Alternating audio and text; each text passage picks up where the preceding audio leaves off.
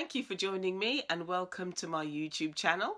My name is Jenny Allen and I am here to share with you day 13 of my self-care and mental health challenge. So let's get started.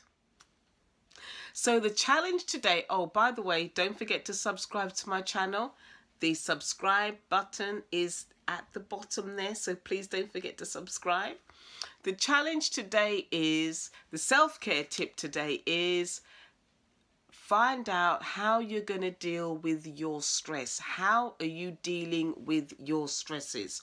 Because stress has a major impact on your mind, on your physical body, and it has a um it has an impact on your soul on your spirit.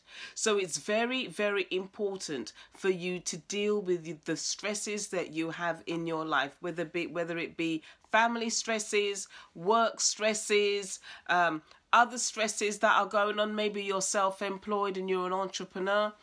Um you need to be able to deal with those stresses I think it was yesterday's um, challenge, we were talking about the importance of exercise.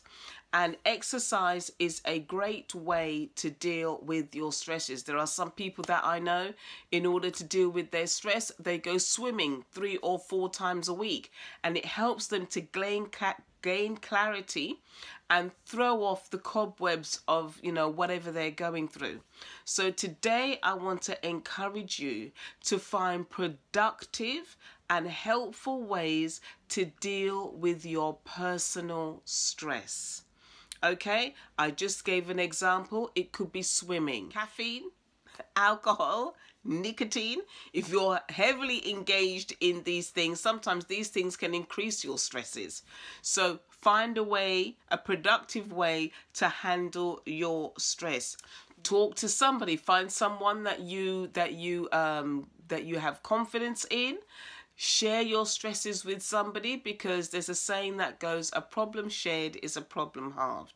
So you can deal with your stress that way. Find somebody that you trust and you have confidence in and share your stress with them. Okay? So that is uh, today's tip deal with your stresses. That's really important. And i will see you for the challenge for tomorrow. Thank you for joining me for day 13 and i will see you for day 14 tomorrow. So don't forget to subscribe. Bye